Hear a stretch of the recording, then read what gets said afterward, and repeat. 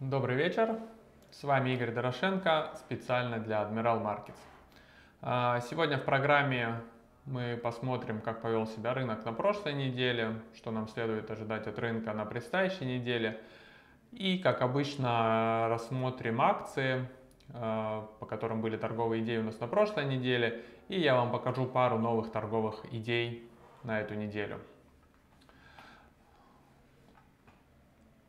Итак, начнем с обзора рынка. А, на прошлой неделе у нас, а, если мы посмотрим графики, а, рынки поднялись до хаев и, в принципе, консолидировались около хаев. Если мы посмотрим, все индексы торгуются около своих максимальных значений.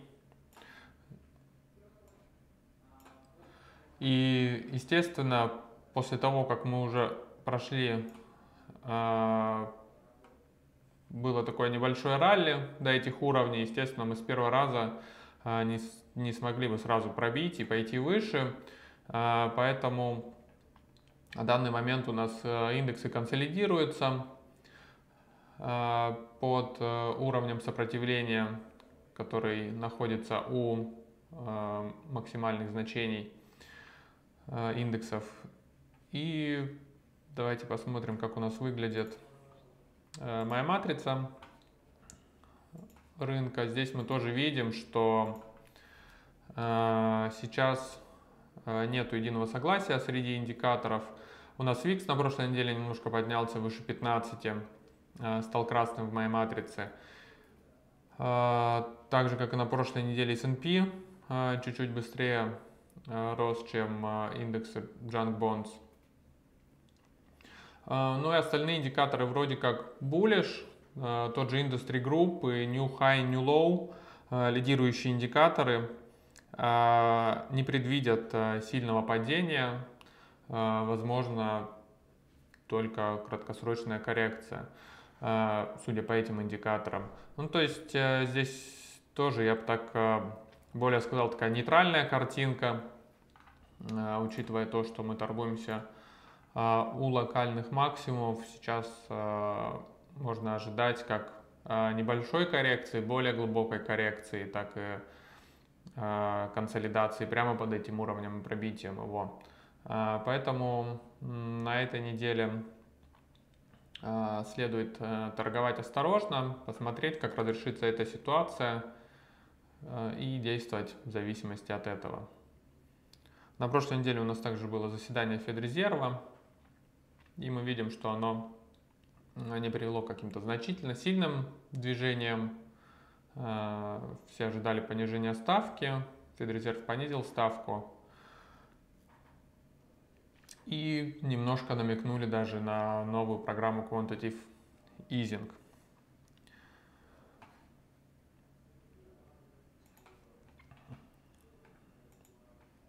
Э, теперь давайте перейдем к акциям и посмотрим, а, а, что у нас произошло с акциями, которые мы рассматривали на прошлой неделе. А, начнем с акции Snapchat, тикер Snap.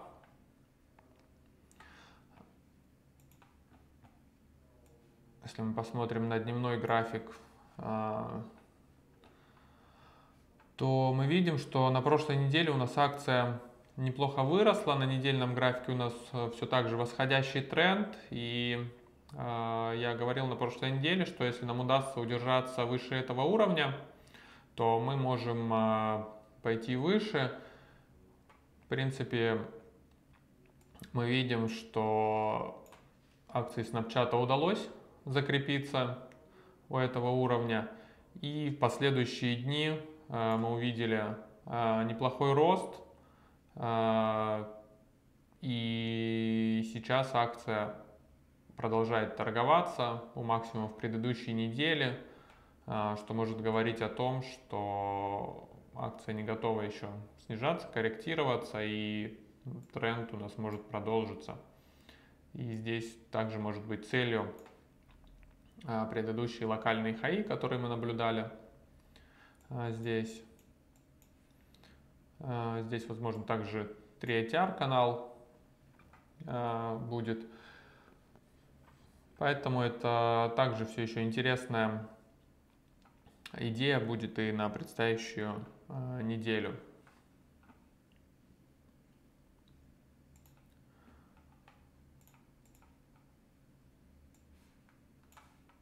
Следующая акция, которую мы посмотрим, это акция Google. А,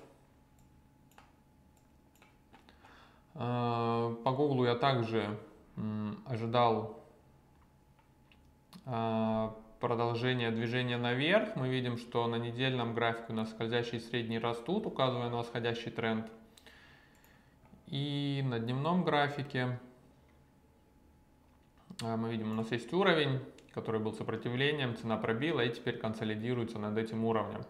Я ожидал какой-нибудь коррекции поближе к скользящей средней, прежде чем мы пойдем выше. В принципе, что-то подобное мы наблюдаем, но коррекция происходит таким образом, что цена не снижается вниз непосредственно к скользящей средней, а движется в боковике, и тем временем скользящая средняя а, подходит ближе к цене. То есть, если мы также продолжим на этой неделе консолидироваться и упремся в скользящую среднюю, то здесь может быть хорошая точка э, на лонг в акции Google. Поэтому прямого такого сигнала на прошлой неделе у нас не было. Стоит опять-таки продолжать наблюдать за акцией. И, возможно, уже на этой неделе э, появится хороший сигнал на вход. Следующая акция Netflix.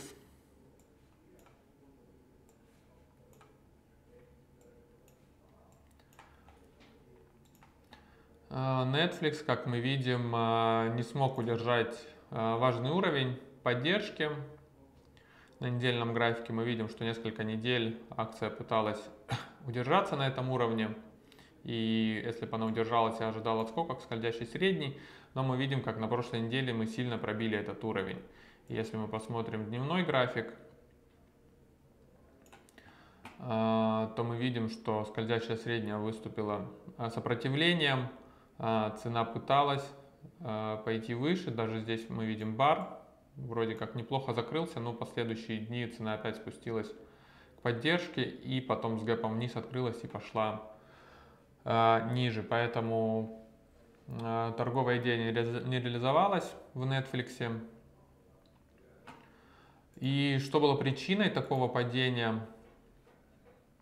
На самом деле все много компаний уже на рынке, которые связаны со э, стримингом контента в интернете. Помимо Netflix, вы знаете, Disney запускает э, тоже такую же услугу. Э, Apple готовит что-то типа Apple TV. И также есть такая компания, как э, Roku, э, стикером Roku, тоже акция из этого из этой отрасли. И если вы посмотрите на график Roku, как раз таки увидите, какой был у нас сильный восходящий тренд на недельном графике акция чуть выше 20 долларов стоила э, и поднялась до 170 долларов, после чего последовала резкая э, коррекция. Акция очень сильно откорректировалась, сейчас скользящий средний на недельном графике.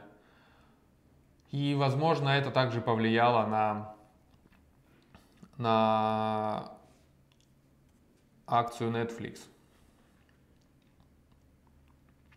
Акция Roku тоже сейчас на самом деле выглядит э, интересно, но я бы не стал ее покупать прямо сейчас так сразу. Мы видим на недельном графике у нас тренд все еще не нарушен. Мы можем здесь э, увидеть еще отскок.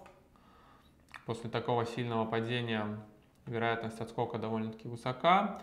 Э, но здесь может занять какое-то время э, формирование дна, прежде чем акция начнет отскакивать.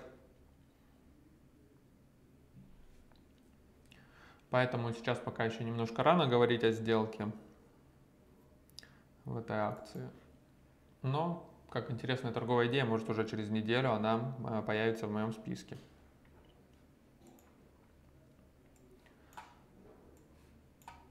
Следующая акция, которую мы посмотрим, это акция Биду. А, в акции Биду я также ожидал а, отскока на недельном графике и на дневном графике.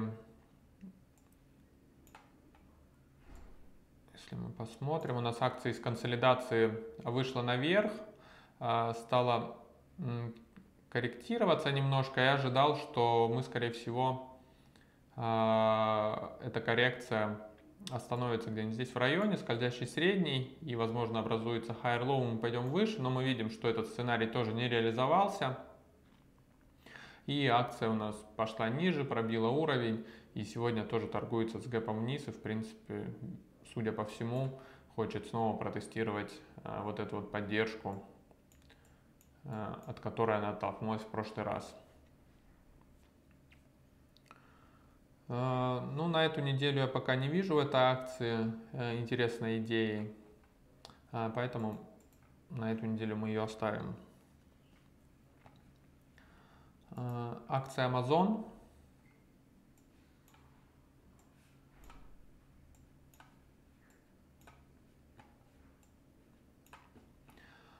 Акция Amazon также не сделала то, что мы от нее ожидали. А, продолжает на дневном графике также торговаться в канале. На недельном графике ситуация тоже изменилась. Мы видим, прошлая неделя а, у нас закрылась вниз, и скользящая средняя а, стала тоже указывать уже вниз, указывая на, возможное, на возможную смену тренда. А, здесь э, я говорил о том, что я ожидал э, в начале недели, что акция, возможно, закрепится выше вот этого уровня. А, здесь она у нас на позапрошлой неделе попыталась пробить этот уровень, не смогла. И на прошлой неделе она опять-таки не смогла пойти выше этого уровня, что было а, важным для того, чтобы искать здесь точку для входа в длинную позицию. Мы видим, что этот уровень уже выставил как сопротивление, и акция у нас продолжает а, снижаться. А, теперь на самом деле мне даже больше видится Amazon как э, кандидат на шорт, на короткую сделку.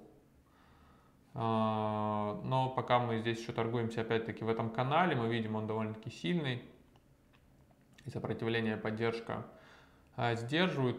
И плюс у нас здесь, видите, 200 недель, 200-дневная скользящая средняя. Вокруг нее очень часто а, цена акции может консолидироваться какое-то время. А, поэтому в Амазоне на эту неделю тоже я пока не вижу хорошей торговой идеи. Надо посмотреть, как акция будет торговаться в этом коридоре и куда она в конце концов из него выйдет, вверх или вниз. И тогда, возможно, а, там уже будет интересная торговая идея.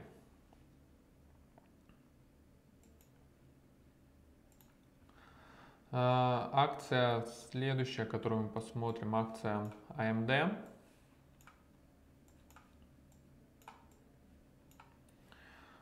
И по акции AMD также а, не получилось то, что от нее ожидалось. Он также продолжает а, консолидироваться в таком канале. На недельном графике здесь все еще восходящий тренд. Вы видите, как на последних неделях, насколько сузился диапазон, а, насколько упала волатильность в этой акции. Это указывает на то, что в какой-то момент у нас будет сильный всплеск а, волатильности. А, на рынке всегда высокая волатильность чередуется с низкой, и после такой а, узкой консолидации акция может выстрелить как вверх, так и вниз. На мой взгляд, более вероятно, что это будет по тренду, в сторону тренда. Чаще всего такие выходы бывают вверх. Но здесь тоже, опять-таки, будет зависеть, я думаю, от рынка. Если весь рынок пойдет у нас вниз, то акция AMD навряд ли получится выстрелить э, выше. Если мы посмотрим дневной график, на самом деле Э, как я говорил на прошлой неделе, я ожидал, что акция удастся закрепиться выше скользящих средних. Мы видим, что это не удалось. Э, всю неделю мы торговались под скользящей средней, сегодня также. Поэтому это не, не сигнал, не признак сильной акции, а скорее даже наоборот. Поэтому здесь торговая идея не реализовалась. И на этой неделе ну, в принципе, как и Amazon, я думаю, тоже пока она в канале и в такой узкой консолидации, надо все-таки подождать, посмотреть, э, в какую сторону выйдет, и тогда уже а, пойти вместе с сильным движением. А, по акции AMD, также если мы посмотрим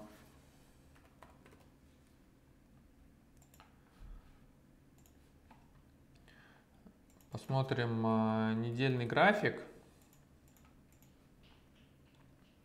э, то мы увидим, что на самом деле у нас э, для того, чтобы войти в лонг, у нас импульс должен был поменять цвет с красного. В одном из предыдущих видео я рассказывал об импульсной системе Александра Элдера. И в этой ситуации с акцией AMD эта система как раз таки помогла а, не, не входить а, в сделку раньше времени, то есть э, ожидая э, движения наверх, я следил также за недельным импульсом, и как видим, он продолжает быть красным, э, то есть запрещая входить в, длин, в длинную позицию. И на дневном графике мы видим ситуацию сегодня чуть получше, импульс синий, но условия для входа в длинную позицию Э, заключается в том, чтобы оба графика, и недельный, и дневной, э, разрешали э, им, импульсом открывать позицию. Поэтому импульсная система в очередной раз помогла не входить в позицию раньше времени. То есть даже если здесь мы видим у нас в принципе, вроде как хорошо уже начинал выглядеть график. Можно было ожидать, э, что цена вот-вот закрепится и пойдет выше, но надо было ждать, э, пока импульс на недельном графике не поменяет свой цвет, и этого не произошло. И поэтому не было входа, и мы видим, что всю оставшуюся неделю у нас акция тоже снижалась. Если бы здесь э, мы вошли в эту позицию, то получили бы, э, возможно, убыток. Так этого удалось э, избежать.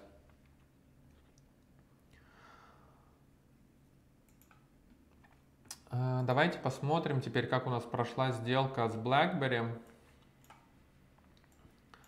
Это сделка, которую я торговал на Spike Trade, на своем личном счете и также на платформе MetaTrader на счете Admiral Invest на котором можно торговать акции, я совершил эту сделку.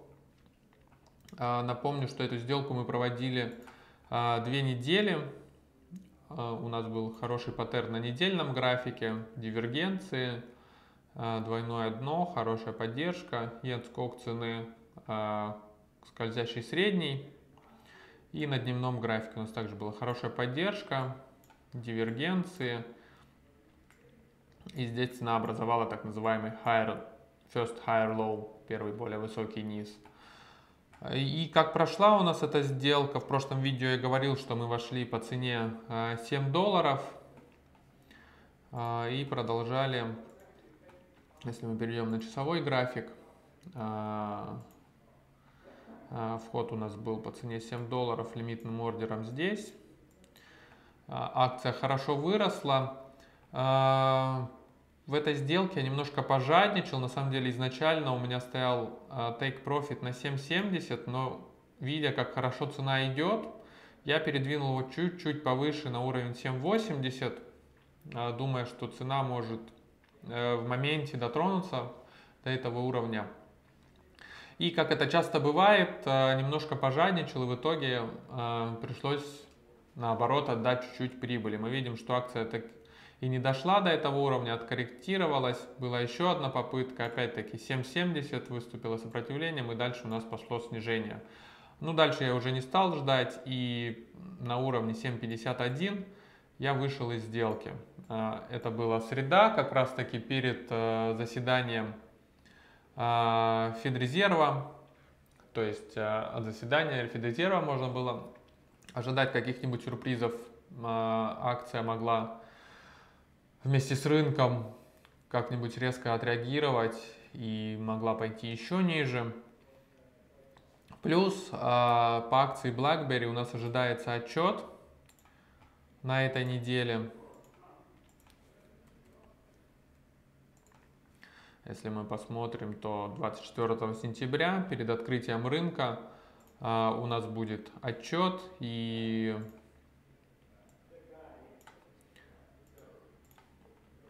вот здесь видно earnings 24 сентября. И, соответственно, за неделю до отчета тоже а, компании иногда бывает, что выпускают а, заранее какие-то данные. А, в общем, это такая территория, когда уже более рискованно сидеть в акции, если она технически не очень сильно выглядит, еще к тому же, что в принципе и было с акцией BlackBerry. И как мы видим, после выхода, в принципе, акция у нас осталась двигаться в таком же коридоре. Мы видим на дневном графике мы никуда сильно не ушли, продолжаем двигаться. И я думаю, что вплоть а, до оглашения результатов, возможно, акция тут а, продолжит оставаться у текущих уровней, и уже потом в зависимости от результатов она определится с направлением. Если будут хорошие результаты, мы можем увидеть продолжение ралли. А если будут плохие результаты, то акция может просесть. Но, тем не менее, Здесь вы можете посмотреть, как, э, какой у нас оказался результат сделки. Вход был по 7.20, э, выход по 7.51 и удалось заработать э, почти 350 долларов на этой сделке. Очень неплохо. Изначальный риск был 1% от счета, то есть здесь на демо-счете у нас счет 20 тысяч и с учетом прибыли э, у нас получилось почти 2 к 1, чуть поменьше. Очень неплохая сделка. Э, давайте теперь посмотрим, что у нас есть из новых интересных идей. на текущую неделю. А, одна такая акция, это акция Okta, а, тикер OKTA. И здесь у нас ситуация чем-то похожа с акцией Roku, которую я вам до этого показывал. А, вы тоже видите, как акция очень сильно выросла, она торговалась тоже в районе 20 долларов, выросла до почти 140 долларов, после чего откорректировалась. А, и мы видим это сильное падение тоже на дневном графике. А, и как вы видите, так же как и в акции ROK, у нас было сильное падение. И видите, что моментально сразу отскока не было. Акция какое-то время еще консолидировалась. Э, пока еще слабые игроки э, продавали э, свои акции на низких уровнях, и сильные игроки уже потихоньку накапливают, и в принципе в этих уровней они могут еще поддержать акцию, пока не накопится достаточная позиция, и потом, возможно, мы можем увидеть еще хороший отскок после такого падения. Э, так как недельный график, вы видите, выглядит довольно-таки сильно. Мы можем отскочить как скользящий средний, так и попробовать выше. На дневном графике первая цель, конечно, скользящая средняя. И потом, возможно, вот этот уровень, который я здесь нарисовал, который мы пробили, акция может протестировать его э, как сопротивление. И в этой акции, так же как и с AMD, следует, конечно же, следить Затем, что показывает импульс. Если мы посмотрим на недельном графике, импульс, он еще у нас красный, то есть пока что еще рано входить в эту сделку. Надо следить, когда импульс перестанет быть красным, то есть станет синим или зеленым. И на дневном графике мы видим, что уже импульс синий, акция э, консолидируется, нашла поддержку около 200 дневной скользящей средней. Если у нас недельный импульс поменяет цвет и на дневном графике образуется интересный паттерн, то мы можем э, неплохо отскочить повыше. Поэтому следите за импульсом. Я также буду следить и смотреть, будет ли здесь э, интересная потенциальная сделка. И акция, которую выбрал для торговли на Spike Trade на этой неделе, а, это акция а, с тикером GILD.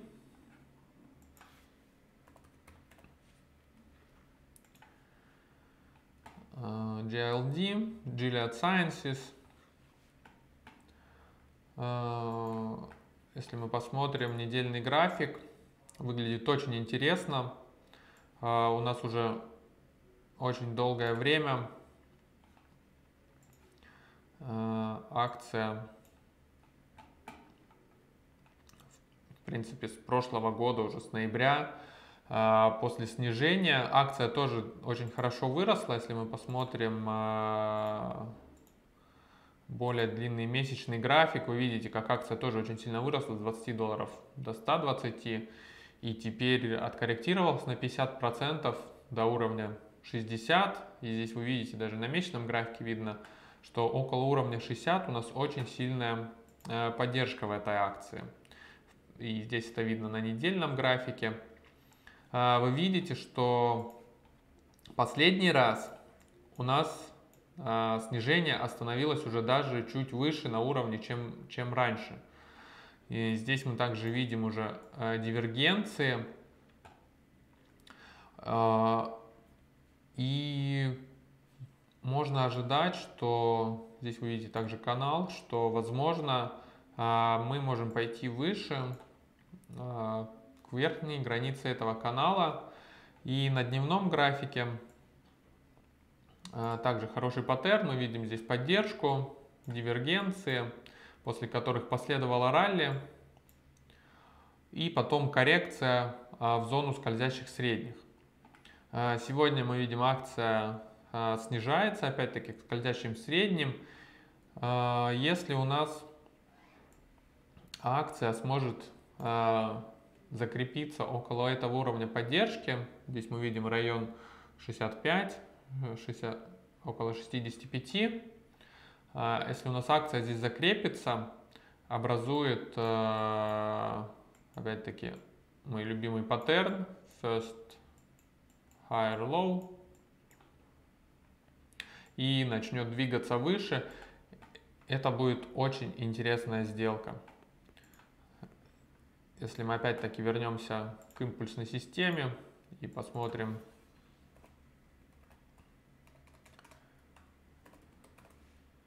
как у нас акция Gillette выглядит на э, недельном графике сначала.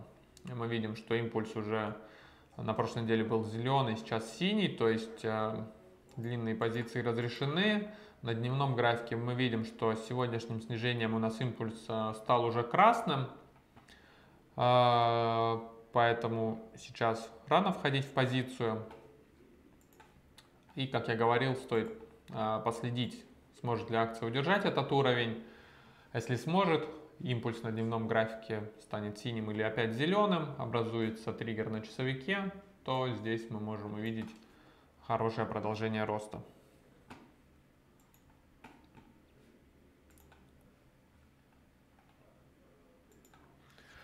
На сегодня это все. А, увидимся с вами на следующей неделе. И всем хороших э, сделок. До свидания.